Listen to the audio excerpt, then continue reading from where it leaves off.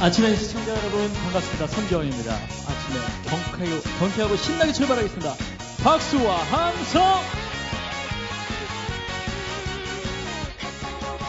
네가 네가 어서 나 좀 말려줘요 그녀 때문에 정신을 차릴 수 없어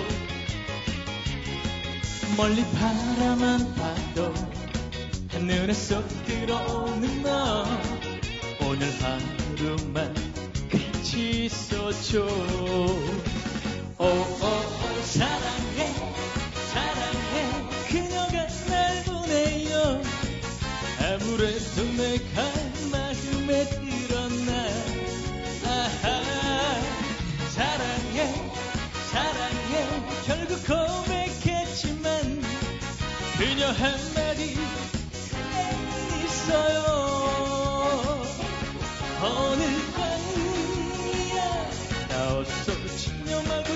가자 그게 진정한 카사노바야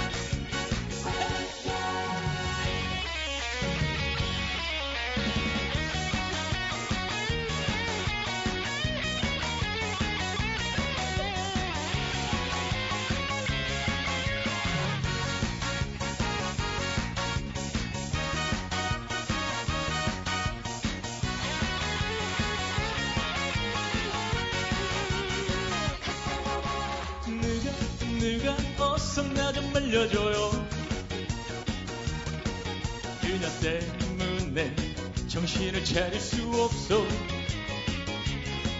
멀리 바라만 봐도 한눈에 쏙 들어오는 너. 오늘 하루만 같이 있어줘. 오오오 사랑해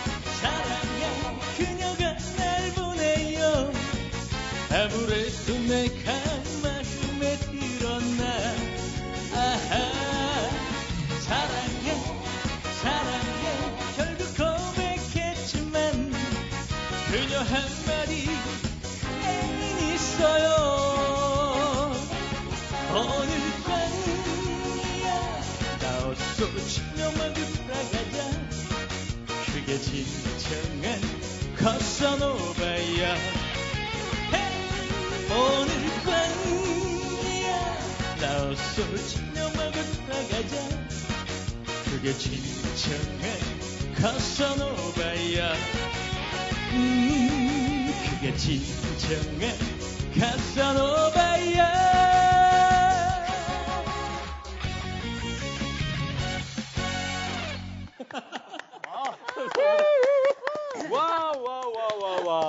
자, 신나는 라이브가 있는 아침. 아침엔 트로트를 틀어줘! 네.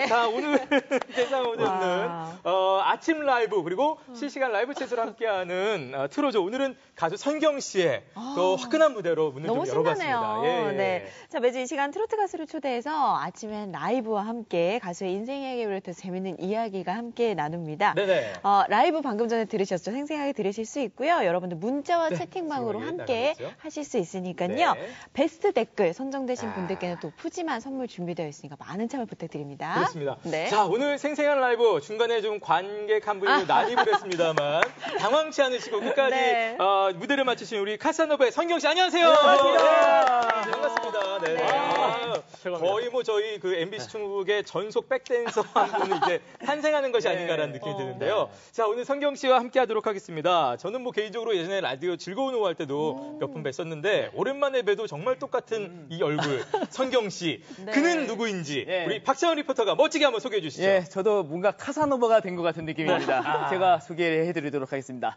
트로트를 틀어줘! 틀어줘! 오늘 초대 손님은 성경 씨입니다! 와, 와, 와, 와, 와. 우후후후. 경북 문경 출세! 호텔 경영학을 전공해 젊은 시절 사업가로서의 삶을 살던 그는 2006년 제1회 문경세제 가요제 대상 수상으로 가수의 길을 선언.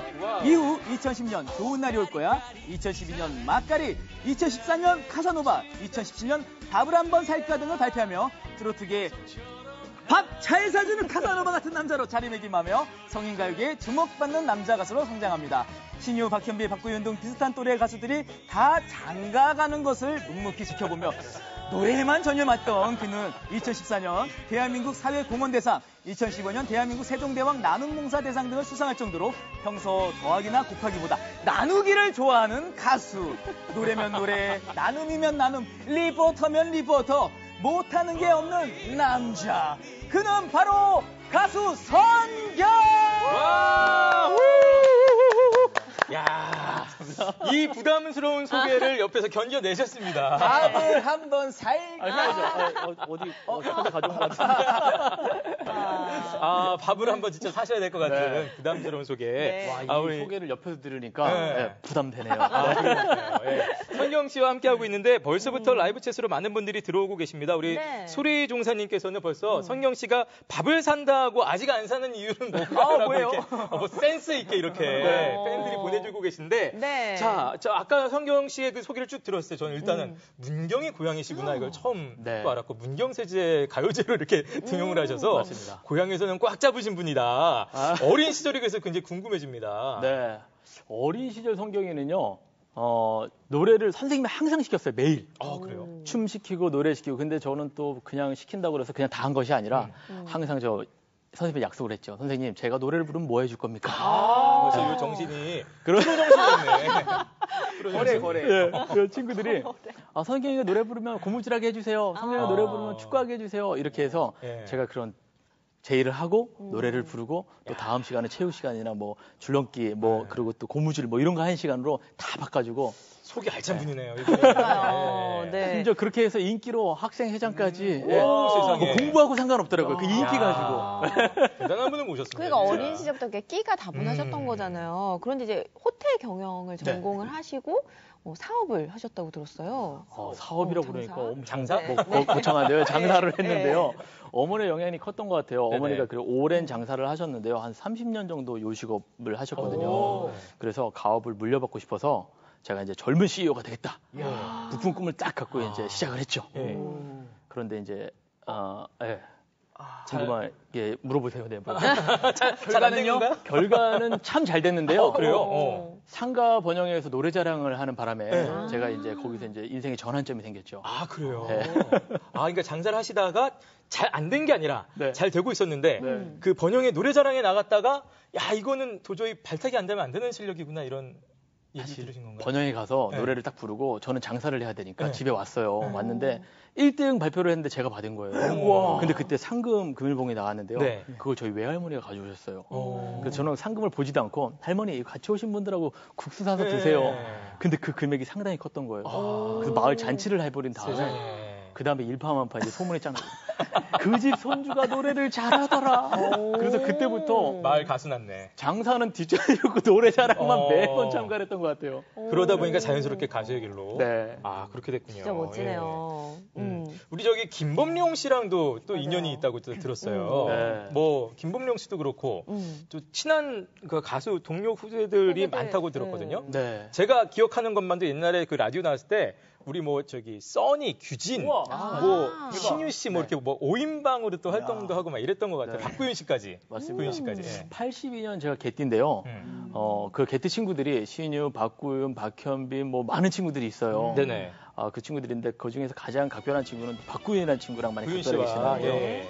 처음에 제가 데뷔하고 나서 이 친구가 이제 반짝이 의상을 입고 노래를 부르고 뿌니고라는 다니잖아요. 예. 네, 뿌니고라는 노래를 불렀는데 이게 대박이 난 거예요. 네.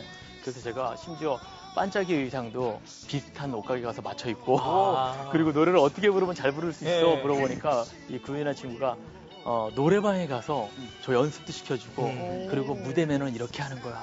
그리고 어머니한테 사랑받으려면 이렇게 해야 돼. 그래서 제가 노래를 부를 때는 제 눈이 없어집니다. 아. 거의 뭐 반달 웃음. 네. 박구윤 씨한테 배웠어요. 아. 네, 저 친구 노래 부를 때 눈이 없어지거든요. 그렇군요. 박구윤 씨도 아버님도 작곡가시고 하니까 네. 그 집안에 피가 좀 있거든요. 네, 맞습니다. 이 방송을 박구윤 씨가 봤으면 좋겠네요. 보는데 못 본 척 하더라고요. 아, 네. 오늘은 반짝이를 빼고 오셨어요, 네. 옷에. 이제 좀 달라 보이려고. 아, 약간 차별화를 들으려고. 아. 제가 조사를 해봤는데 네네. 씨가 재주가 정말 많으시더라고요. 어, 그래요? 트로트뿐만 아니라 발라드도 잘하시고 음. 또이 개인기 성대모사를 그렇게 아. 잘하신다고 들었습니다. 성대모사. 오늘 뭐 부담 주시려고 어, 막 몰아가는데요? 네, 그게. 아니라 라디오 프로그램 진행을 꽤 오래 했는데요. 예, 예. 거기 사연 읽어주는 남자였어요. 네. 사연을 보내주면 제가 흉내를 내면서 했는데 음. 다섯 살짜리 꼬마아이를 둔 어머니 사연이었는데요. 네. 네. 저희 아이가 어, 유치원에서 나비야라는 노래를 배워왔어요. 음. 그러니까 엄마 저 유치원에서 나비야 노래 배웠어요. 나비야 나비야 너를 부르던 내가 이러니까 옆에서 하동규 씨. 네, 하동기 흉내를 아니, 내면서 애가, 하고. 애가 부른 나비야? 그러니까. 나비야. 그걸 생각했는데 옆에서 제가 나비야. 이런 얘기도 있고 뭐. 아. 중간 중간 사연 설명하다가 뭐 음. 이선균이다. 뭐 이러면서 괜히 네, 파스타. 이선균이다.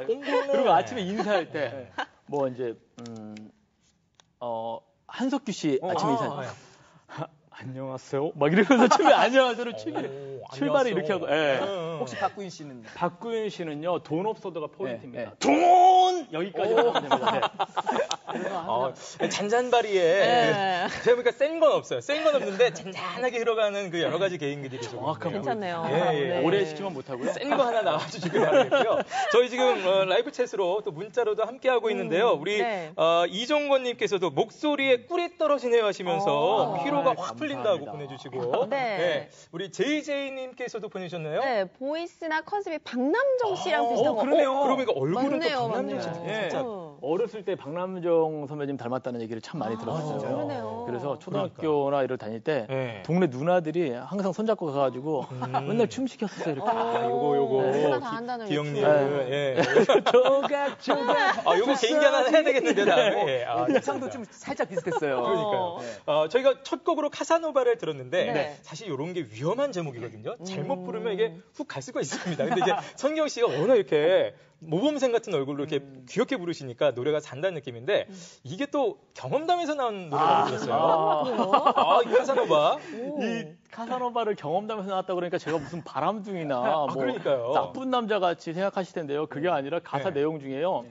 애인 있어요? 라고 물어봤는데 상대방이 애인 있다고 그러면 음. 예. 그냥 바로 돌아서는 아. 그런 멋있는 남자를 카사노바 오. 같다. 이렇게 얘기한 거거든요. 제 경험담 맞습니다. 오. 대시에서 안될것 주로 같아서. 돌아서는 거 아니에요? 아, 그럴 수도 있는데요. 경상도에서 처음 서울로 이제 그 가수의 꿈을 안고 상경을 했는데 네. 네. 강남 이 어머 커피숍에 들어간 오. 거예요. 너무 괜찮은 분이 계셔서 어, 신난다, 신난다. 나도 이제 강남에 사시는 분한테 한번 대시를 한번 해봐야 되겠다. 그렇지, 그렇지. 그래서 저기요, 저 목소리를 딱 내려. 저기요, 저 시간 있으시면 차나 한잔 하실래요? 혹시 애인 있나요? 그러니까 저를 탁 쳐다보시면서 저 애가 있어요. 애가 있어요. 애인 있어요가 아니라 애가 있어요. 그거 애가 있어. 정말 누가 봐도 애가 있어요. 누가 봐도 20대예요. 그냥 아. 애가 있다는 건 말이 안 되는 얘기인데 그러니까요. 멋있게 이 태자를 놓으신 거죠. 아이고. 그래서 돌아서는 제 모습을 보면서 예. 정말 비굴한데 어. 아 이렇게 가면 좀 그렇다 이제 가사로 옮겨져서 그게 돌아서는 그 남자가 아, 진정한 멋있다. 카사노바다 멋이다 이게 그래요. 사실 아니, 좀- 요즘, 요즘은 엄마들이 워낙 젊은. 우리 저기 혜선 씨도 누가 보면 애인 있어요 제가 물어보니 제 경험담이에요, 어, 사실. 아, 진짜? 얼마 전에 그랬거든요. 애인 있어요라고 라고? 한번 해봅니다. 이런 경우들이 있어요. 네. 예. 자, 여러분 저희는 지금 현재 어, 여러분과 또 문자로 음. 또 실시간 라이브 챗으로 너튜브에서 함께 하고 있습니다. 많은 네. 분들 또 들어오고 계신데요. 음. 어, 가수 활동하시면서 네. 기억에 남는 에피소드 음. 또 그런 뭐 무대 많이 있을 것 같아요. 많을 것 같아요. 정말 많은 무대가 있고요 네. 정말 감사한 무대는 어 이제 어머니들 노래 교실이 참 많아요 음. 그래서 노래 교실 가는데 적게부터 많게까지 많게는 몇천 명 적게는 한네 분 계신데도 다녀와 봤어요 네네네. 이렇게 많은 데를 다녔는데 건강이 안 좋았는데 저와 함께 노래를 부르면서 건강이 좋아졌다 하시는 분들이 오, 가장 기분이 세상에. 좋고요. 그리고 또 에피소드 중에 하나는 노래 부르다가 제가 이 마이크로 음. 이렇게 받쳐가지고 제 예. 이를 친 거예요. 아이고. 그래서 이가 앞니가 예. 여기가 깨져서 아, 나갔어요. 지금 표시가 안 나죠? 네. 네, 잘 붙여놨습니다. 아, 세상에 근데 이게 제가 흥분을 내서 무대 밑으로 내려가서 막 놀다가 하시다가 어. 제 팔꿈치 제가 이렇게 맞는 아, 거예요. 친게 아니라. 그러니까 누구한테 뭐라 그럴 수도 없고 그러네요. 사실 정말 재밌기도 하면서 네. 이게 평생 가는 에피소드로 남았습니다. 야, 진짜. 얼마나 본인 자체 흥이 있으시면. 네, 맞아요. 예. 이렇게 이제 다치시면서 네. 그렇게 또 뭔가 그 좋은 일을 많이 하신다고 들었습니다. 예, 지금도 홍보 대사로서? 카사노바라는 어? 별명이 어. 있어요. 오. 예. 아, 여러 그냥 재단에 그냥 가입이 돼 있고요. 네. 그리고 이제 노래를 부르면서 재능을 어떻게 하면 음. 나눌 수가 있을까 하는데 저는 노래 부르는 재능이 있잖아요. 네네. 이걸 이제 기부하는 방식을 어. 택했습니다. 음. 그래서 저를 불러주신 데 있으면 가서 부르고 아. 대신에 뭐 소외계층이나 그리고 공연을 보지 못하는 분들을 뭐 우선적으로 찾아가고 있어요. 음. 그러다 보니까 좀 많은 시간이 이렇게 좀 흘러서 뭐 어디 어디 홍보대사 같은 거 뭐뭐 하고 계세요? 강태원 복지재단이라고 네. 복지재단 홍보대사 그리고 문경시 홍보대사를 하고 어, 있고요. 문경은 해야 되겠네요. 예. 네 그리고 어.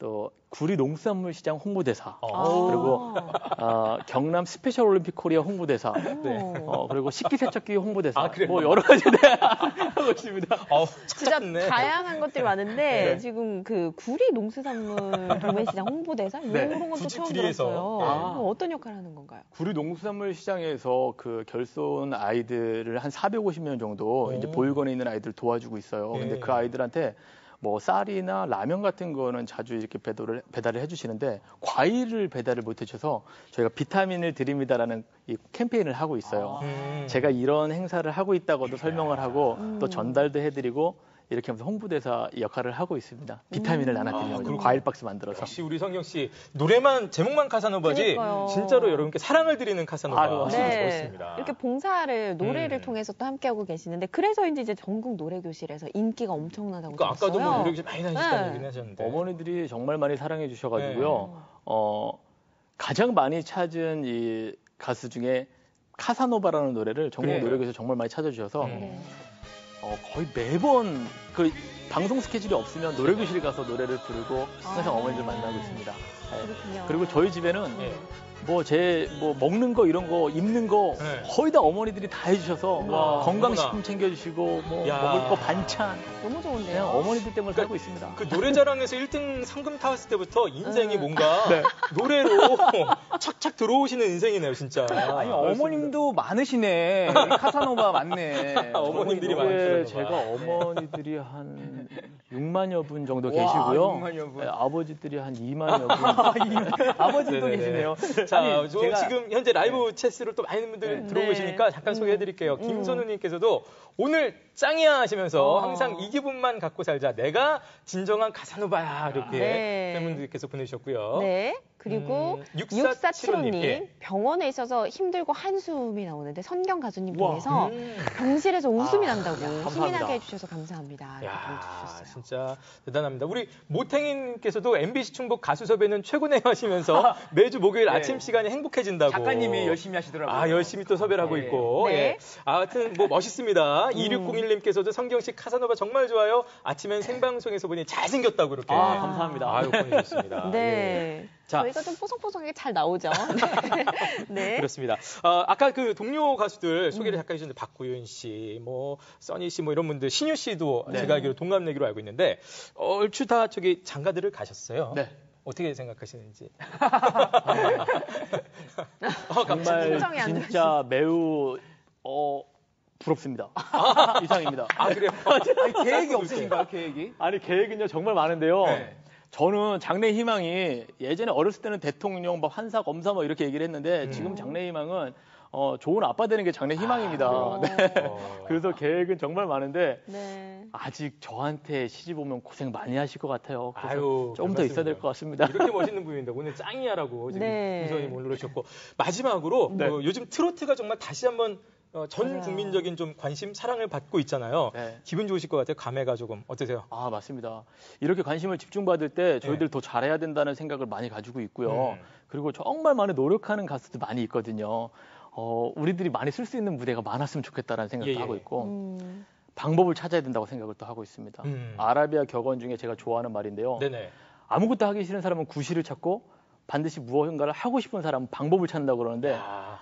어, 관객들이 좋아하고 대중들이 사랑하는 이런 음. 무대에 서려면 방법을 찾아야 될 것 같습니다. 제가 한번 방법을 찾아서 오. 여러분들 앞으로 바짝 다가설 수 있도록 아. 노력하겠습니다. 이분이 선경지명이 있으시네. 아, 아라비아 격언이 나왔어요. 멋지네요. 네. 네. 자, 지금까지 멋진 가수 성경 씨와 함께 했습니다. 자, 다음 주 트로트 시간에는 강소리 씨를 초대해서 또 재밌는 이야기 나누고 라이브 무대 만나보도록 하겠습니다. 네. 자, 생방송 하시면 목요일 코너 틀어줘. 저희는 성경 씨를 보내드리면서 마지막 곡으로 음. 밥을 한번 살까? 어, 네. 저한테. 아, 일단 당장은 안 돼도 네. 지금 노래로서 한번 살 수 있도록 네. 하겠습니다. 네. 자, 여러분 신나는 라이브를 함께 청해 듣겠습니다. 밥을 한번 살까? 성경 씨였습니다. 감사합니다.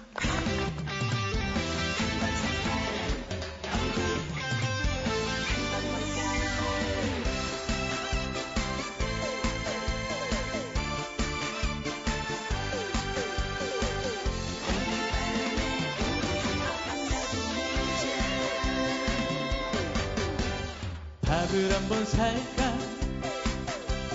얼굴 한번 볼까? 오늘 밤에 우리 한번 만나보자. 어찌 사냐 친구들아 보고 싶구나? 바쁘게들 살아가고 있겠지. 사랑도 좋고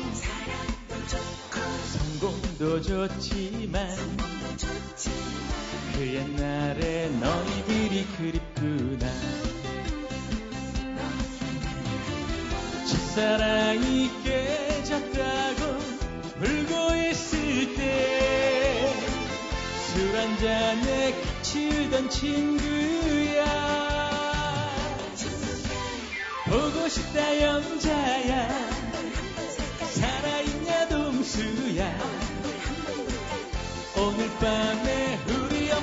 만나보자.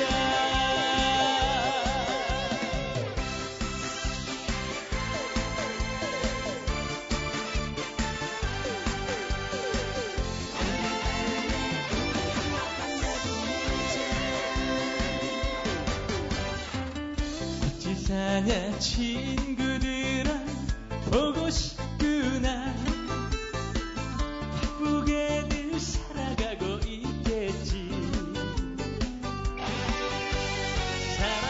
좋고 성공도 좋지만 그 옛날에 너희들이 그립구나. 첫사랑이 깨졌다고 울고 있을 때 술 한잔에 그칠던 친구야. 보고 싶다 영자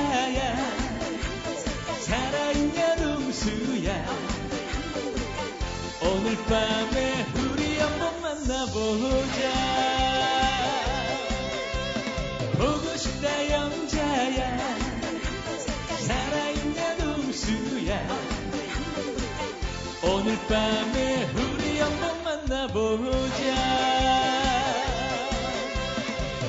오늘 밤에 내가 쏜다 친구야